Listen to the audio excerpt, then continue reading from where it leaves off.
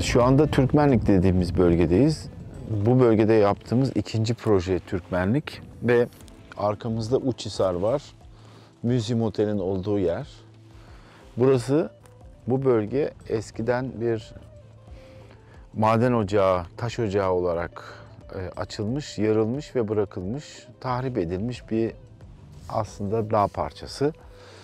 Biz yeni projemizde bu dağın içine gireceğiz.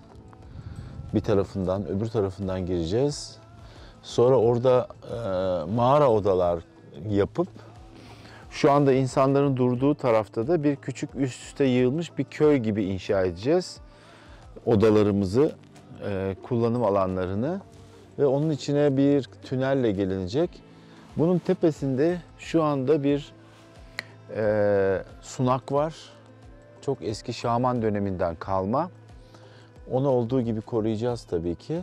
Bir de orada zaten bir tane kartal yuvası var. Biz ne zaman buraya gelsek yukarıda uçuyor. Onun da doğal e, yuvası orası. Aşağısı buradan termal e, çıkacak termal suyun e, serbest bırakılacağı ve e, çeşitli derinliklerde ve ısılarda kullanmak istediğimiz aslında lagun dediğimiz büyük bir havuz olacak orası. Artificial bir havuz. Dolayısıyla bu köy hem Uçhisar manzarasını hem bütün vadinin manzarasını hatta arka tarafta Erciyes'i normal ve e, güneşli havalarda Erciyes görülebiliyor. Hem kış turizmi için hem de dört mevsim turizm için burası termal e, spa otel konaklama çevrenin e, turizm değerlerini arttıracak. Özellikle bu yırtılmış, yakılmış ya da parçalanmış dağ parçasının tekrar tekrar kullanılarak değerlendirilmesi bizim için önemli. Böyle çok maden ocağı var dünyanın her yerinde. Türkiye'de de böyle kazılıp kazılıp bırakılmış. Bunları yeniden kazandırmak bizim için önemli. Şimdi yukarı çıkalım ve Indigo'dan dinleyelim. Bu konu nasıl başladı ve ne oldu? Burayı böyle oyuyorlar.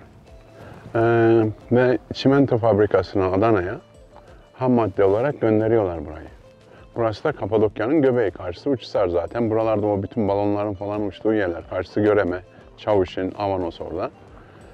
Ve dedim ki ya bu, bu nasıl oluyor? Böyle bir şey olur mu yani? Kapadokya'nın göbeği kesilir mi?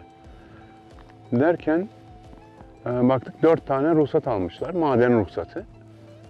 E, araştırdık gerçekten izinle almışlar yani bu ruhsatlara. Sonra bu ne olacak? Bizim de termal sahanın içerisinde bunun hemen arka tarafına bir sondaj yaptık. O sondajı yaptıktan sonra burasını turizm tesis alanı olarak, termal turizm tesis alanı olarak e, planladık. Ve üç bakan imzasıyla ruhsatları iptal ettirdik. Ve daha sonra da burayı şu anda Gökhan Avcıoğlu'yla hep beraber projelendiriyoruz. Burada dünyanın en nadir tesislerinden birisini yapacağız inşallah. İşte buradan tüneller girecek dağın içerisine, bütün tesis neredeyse dağın içerisine kurulacak. Onun dışında da yapacağımız binalar da bu mevcut kesilmiş olan e, terasların üzerlerine kurularak bir tesis oluşturulacak. Ön tarafta da o dümdüz olan alanda da bir lagun oluşturuyoruz. Yani termal bir göl gibi düşünün. Büyük bir havuz daha doğrusu. Muhteşem bir şey olacak.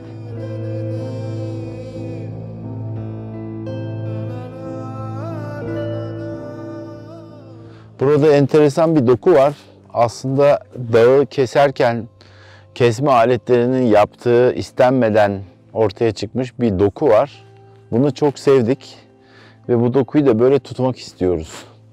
Burayı biraz daha yer seviyesine indireceğiz ve esas giriş ve lobi buradan olacak. Onunla ilgili yaptığımız tasarımları size burada daha sonra göstereceğiz.